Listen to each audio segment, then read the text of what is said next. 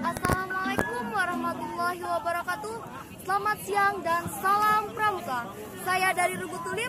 Perkenalkan nama saya Deliawati dari gugus depan 015 016 MTSM 1 Barito Timur melaporkan bahwa Kuarcap Barito Timur sedang memperingati Hari Besar Pramuka yang ke-57 di mana kegiatan ini diikuti oleh seluruh penegak, penggalang, dan siaga di Kuarcap Barito Timur semakin meningkat.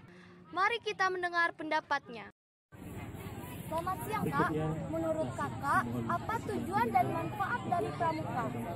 Tujuan dari dan manfaat pramuka tujuannya adalah melatih bagaimana kita untuk mandiri dan berkreativitas dari luar rumah dan mengajarkan kita bagaimana tan cara tanpa membutuhkan orang tua, tanpa harus berkait berkaitan dengan orang tua. Dan manfaatnya adalah melatih kehidupan kita lebih baik untuk ke depannya tanpa harus manja atau menjadi anak yang serba tidak bisa. Terima kasih banyak kak, selamat siang. Melalui kegiatan inilah prestasi-prestasi pemuda di di Kabupaten Barito Timur semakin meningkat. Saya Deliawati dan kameramen saya Wati melaporkan dari Bumi Perkemahan Waal. Terima